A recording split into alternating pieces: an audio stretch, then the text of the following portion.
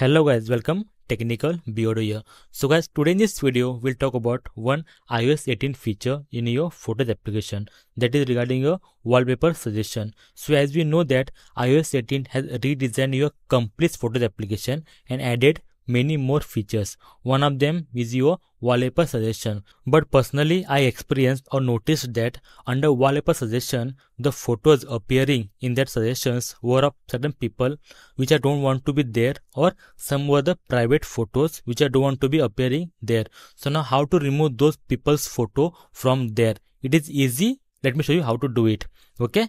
And here there will be one category like your people and pet okay so any person's photo appearing in the suggestion or a wallpaper suggestion will be having uh, a, their photos in this category as well. So now do one thing go ahead and open this people and pet category. Once you open that find a person whose photos are appearing in that category.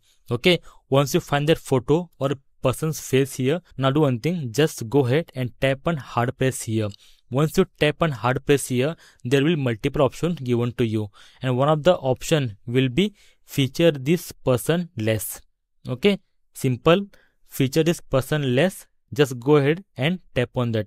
And here now once you tap on the feature this person less the automatically the next screen will be giving you a two option. That is your feature this person less or never feature this person so do one thing, just go ahead and tap on the second option here. That is your never feature this person. Once you tap on that, click on done and automatically that person's photos or face will be removed from all the suggestions on your iPhone Photos application. So any wallpaper, any album, any category, any memories, it won't find you. You won't find that person face or a photo in that categories as well. So guys, it is how you can disable or remove people from your wallpaper suggestion in a Photos application after iOS 18.